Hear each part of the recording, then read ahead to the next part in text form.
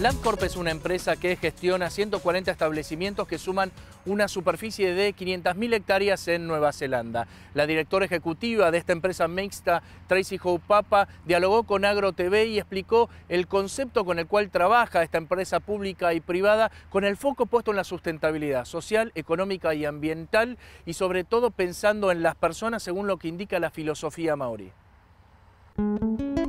Una de las presencias rutilantes del último congreso Createch fue la de Tracy Houpapa, directora ejecutiva Landcorp, una empresa agropecuaria mixta neozelandesa.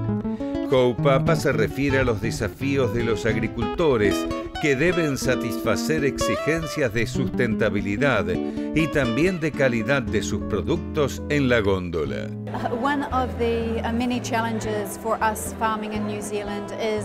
Uno de los muchos desafíos para nosotros en la agricultura en Nueva Zelanda es responder a los eventos climáticos y administrar nuestro manejo productivo en respuesta al cambio climático.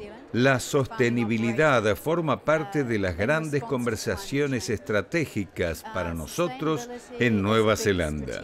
Entonces el desafío es cómo ajustamos nuestras prácticas agrícolas, el manejo de nuestros cultivos, el uso de las tecnologías, la ciencia y los datos para transmitir la forma en que administramos nuestras granjas.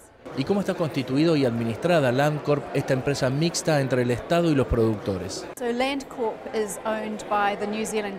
Landcorp es propiedad del gobierno de Nueva Zelanda. Es una empresa estatal. Gestionamos varias granjas en toda Nueva Zelanda. Trabajamos con corderos, venados y bosques y tenemos un gran compromiso con los agricultores de Nueva Zelanda. Tenemos una oportunidad debido a nuestro tamaño para probar nuevas estrategias de manejo de cultivo, nuevas tecnologías agrícolas y hacer ciencia para lograr los mejores resultados que podamos usar y así poderlos compartir con los agricultores de Nueva Zelanda. Landcorp es propiedad del gobierno de Nueva Zelanda.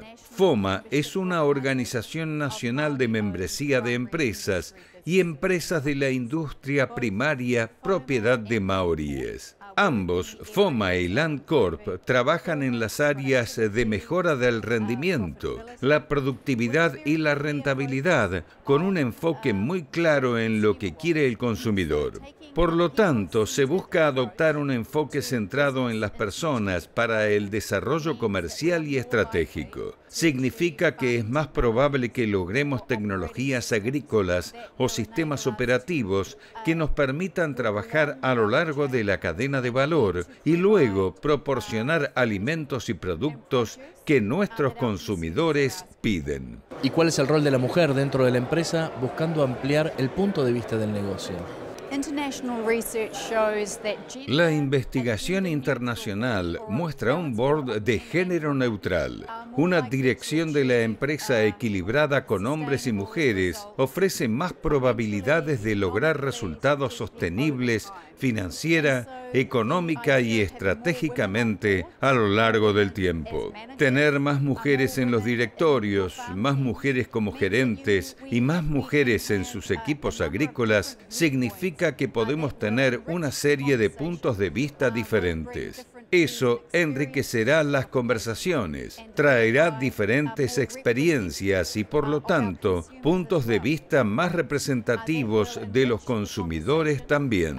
Porque en el supermercado generalmente es la mujer quien toma las decisiones sobre el gasto del presupuesto de la casa, especialmente en términos de comida y específicamente en lo que respecta a la alimentación para sus hijos. Entonces lo que encontramos también es que tener mujeres en el directorio junto con nuestros hombres trae una conversación estratégica más rica y logra mejores resultados financieros.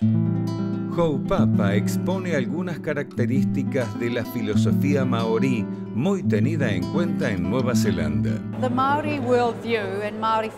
La visión del mundo maorí y la filosofía maorí es, una vez más, poner a las personas en el centro de la escena, acercarse a las personas. Se trata de cómo creamos la sociedad y las economías que mejor satisfagan sus necesidades. Todo esto tiene un impacto inmediato en la consideración de estrategias y políticas para las economías, la industria, los negocios y el marketing. Por lo que la discusión que estamos teniendo en todo el mundo acerca del enfoque del mercado, el enfoque del consumidor, es una visión del mundo que comparten los maoríes. Esto es la idea de que las personas hacen negocios con personas, que las personas son lo primero, que las relaciones son más importantes y luego hacemos negocios, comerciamos y exportamos. Esta filosofía es la base y fundamento para nuestro comercio, nuestras negociaciones y trading en Nueva Zelanda.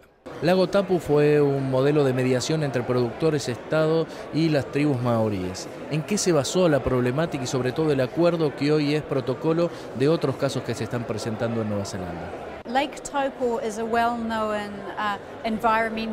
Lago Taupo es una historia de éxito de gestión ambiental muy conocida en Nueva Zelanda. En el lago Taupo detectamos que la agricultura y la industria a orillas del lago estaban contribuyendo severamente a la degradación del agua y los afluentes del lago. Reconocimos que no era solo un problema de los que hacían agricultura, que los pueblos y ciudades en la cuenca también contribuyeron a esta degradación. No se trataba solo de una solución para agricultores o una solución gubernamental o una solución del Consejo Regional o incluso tampoco una solución maorí y que todos teníamos un gran interés en mejorar la calidad del agua e incluir sistemas de gestión que redujeran la escorrentía de nutrientes y la filtración a las vías fluviales. Por lo que reunimos a nuestras mejores mentes en una conversación público-privada y un enfoque de asociación que condujo a algunos cambios en la política y la práctica en torno al uso de la tierra y a las tareas a llevar a cabo requiere que este grupo de representantes de maoríes, el gobierno, la comunidad, el Consejo Regional, nuestros institutos de investigación científica, todos se reúnan en equipo para encontrar una solución. Una vez que se logró y acordó, todos tuvieron un gran interés en el éxito que habían pensado y puesto en práctica. Otro modelo es el Way Casual River, la autoridad del Way River es un enfoque conjunto de gobierno y gestión, de cogestión tribal y gubernamental. Este río Waikato en neozelandés es nuestro Amazonas y estaba gravemente degradado. Los principales problemas están relacionados con la calidad del río y de los principales afluentes del río. Por lo tanto, las cinco tribus del río, junto con el gobierno de Nueva Zelanda, se unieron para acordar, como los guardianes del río, una estrategia de limpieza en los próximos 20 años. Entonces el gobierno y las tribus invierten dinero, tiempo, ideas y personas en un enfoque conjunto para limpiar este curso de agua. Tenemos cinco o seis años en esto ahora, con algunos muy buenos resultados. Tenemos escuelas involucradas, tenemos grupos comunitarios, agricultores, ecologistas, hidrólogos, todo tipo de personas que se unen para una sola premisa que queremos todos, mejorar la calidad del agua. Queremos agua potable para nuestras familias, para nuestras granjas y nuestras comunidades. Queremos nadar en el río con nuestras familias y adoptar un enfoque unificado sobre un tema estratégico que nos une porque descubrimos que tenemos más en común de lo que pensamos posible. Un estudio de campo mostró el año pasado que el 80% de los menores de 25 años en Nueva Zelanda nunca habían tenido contacto con el sector agropecuario. Houpapa envía un mensaje a las nuevas generaciones de gestores ambientales.